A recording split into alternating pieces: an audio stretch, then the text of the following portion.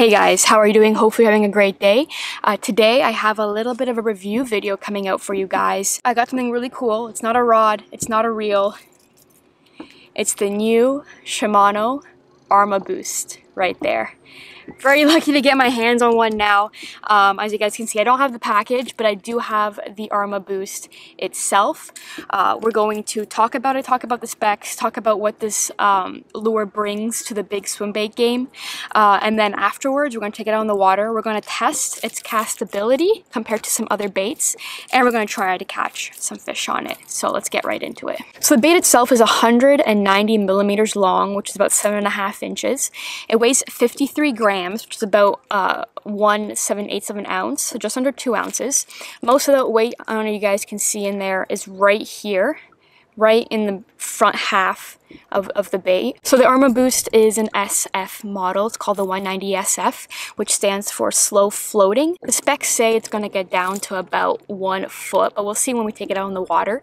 And yeah, it's a little bit of a smaller profile compared to some of the other seven, seven and a half um, inch baits that I own. You guys can see it's a little bit more slender, not very tall, um, you know, decent width to it. It being under two ounces, you can probably get away with fishing on your flipping stick, which is great. You don't need a dedicated swim bait rod for it. As for some of the um, technologies in this bait, uh, first of all, you guys can see there it has flash boost, a technology that Shimano came out uh, this year. Cool, you know, natural kind of flash imitation, which is pretty neat. I've caught a couple fish on the jerk bait. Um, it definitely works, and it's you know cool to see it implemented into a bigger bait like this. So the main, I guess. Um, advertising point of this bait is the Arma joint, which is that big joint in the middle there. You guys can see how this bait just folds right over like that.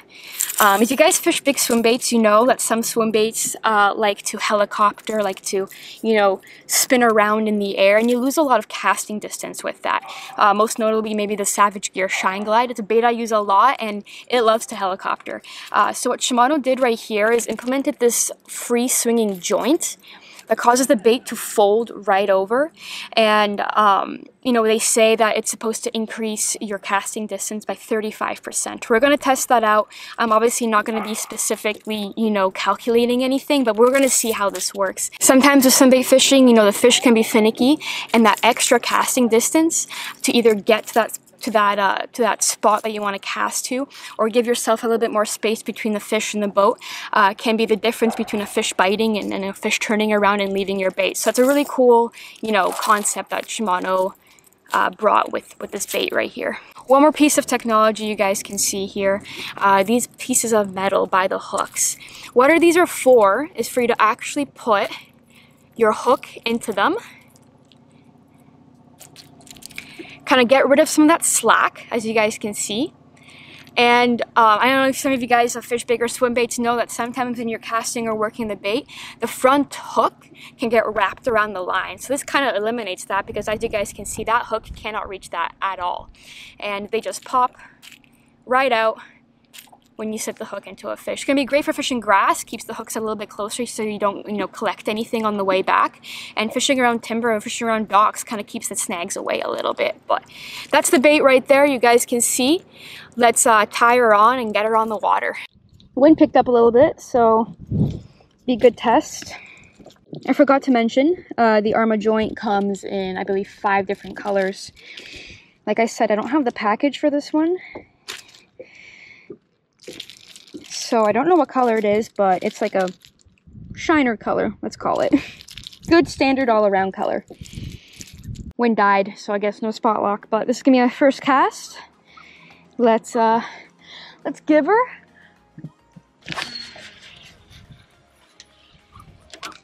I must say, it does cast pretty good. One more cast. So this is into the wind. Not a huge wind. That, that was even further.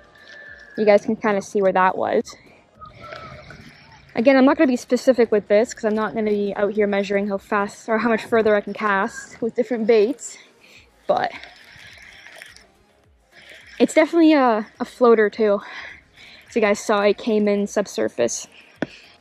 All right, one more cast and then we'll switch it up.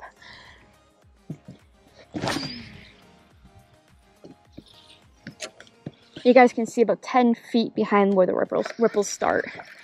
All right, up next, the Shine Glide.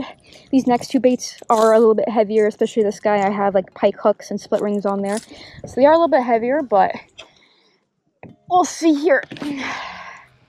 You guys can probably see that helicopter. that was a pretty good cast. That was a pretty good cast. I would say the Arma joint has 10 feet on the Shine Glide. One more cast here.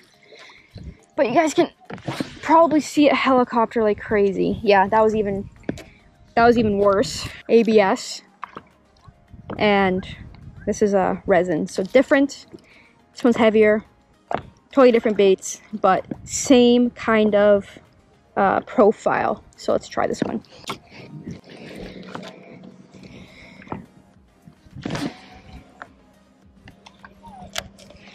I don't know, guys. Hopefully you guys can see this okay, but this this bait has been the closest to the Arma joint so far. Let me do one more cast. I'll really give her this time.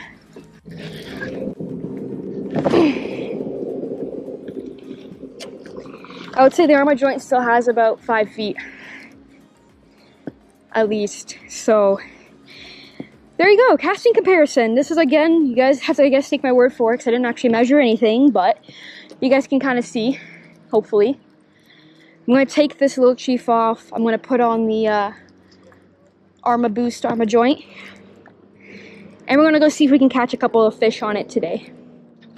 But yeah, casting distance, definitely better than average. So quickly, action-wise, definitely a sick burning bait definitely a sick burning bait.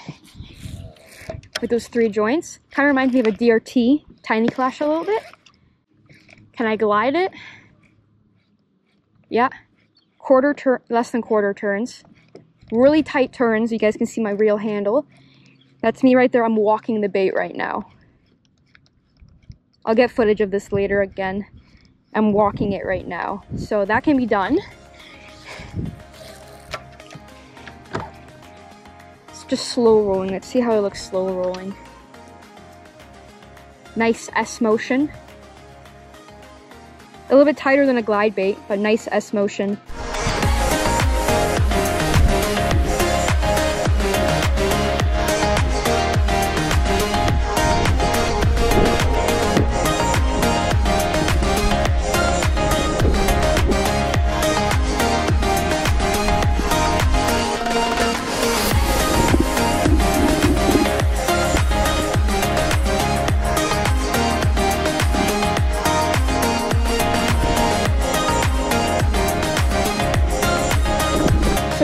Casting this around, you can definitely get away with a flipping stick, 7.6, you know, heavy, maybe even a medium heavy, like a 7.8 medium heavy or something like that. You can definitely get away with a smaller rod. You do not need a swim bait rod for this. I would even say this uh, rod's too heavy for this bait. And if you throw some lighter line, I'm using 20 pound here, you know, 15, 17 pound, you could probably really uh, sling this thing around. But yeah, it's great little like I don't want to say beginner swim bait, but um, great swim bait if you don't have, you know, a swim bait rod.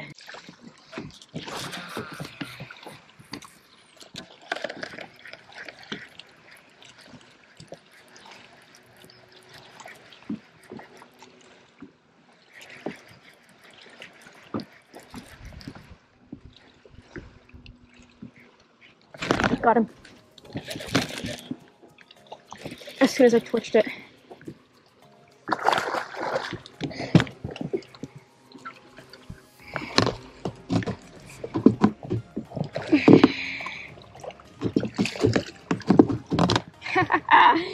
Out of the weed bed as soon as I paused it. Give it a couple twitches. Sick. Not a big fish by any means, but first fish right there on the Arma joint. Looks like the bait actually even folded over pretty good uh, uh, in the fish's mouth, which is good, I guess. More hooks. Make sure that fish comes in.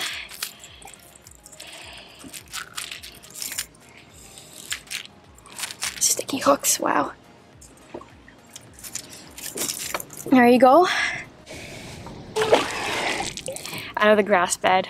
That was so sick. Alright guys, so I hope you guys enjoyed this video.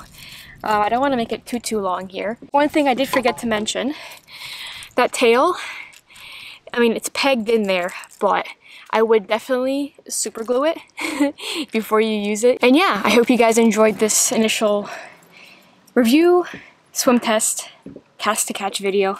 I'm going to leave links to where you guys can check these baits out down below in the description.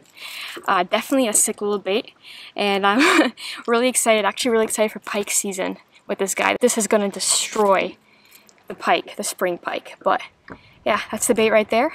Hope you guys enjoyed the video, and I'll see you guys in the next one.